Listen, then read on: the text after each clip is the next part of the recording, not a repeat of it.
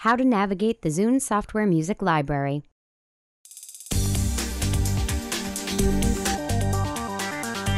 Hello, and welcome to Videojug. The Zune Software's simple and intuitive interface makes it easy to find your music. We'll show you how. Step 1. Launch it. Open your Zune software by double-clicking on the icon. Step 2. Choose Music. On the upper left side of your Zune interface, you'll see a set of notes icon indicating music. Make sure the music icon is clicked. Step 3. Get organized. Beneath the icons, you'll see a number of categories including recently added, artist, album, songs, genre, year, and rating.